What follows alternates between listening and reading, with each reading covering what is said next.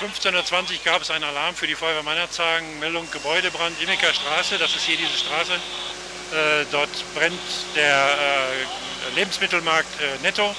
Beim Eintreffen der ersten Kräfte äh, auf Anfahrt schon sichtbar eine deutliche Rauchwolke. Die Alarmstufe wurde sofort erhöht von den ersten Kräften, von Feuer 1 auf Feuer 2 und von uns von der Wehrleitung dann nach Eintreffen auf Stadtalarm, also Feuer 4, sodass alle Kräfte der Feuerwehr Meinerzhagen hier vor Ort sind, die zu dieser Uhrzeit verfügbar sind.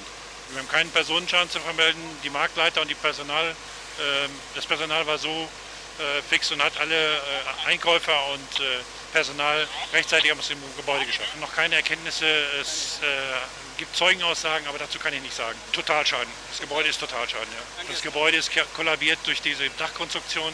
Das ist diese Nagelplattenbinderbauweise und da weiß jeder, der vom Fach ist Feuerwehr, was diese Bauweise bedeutet, wenn darunter ein Vollbrand sich entwickelt hat.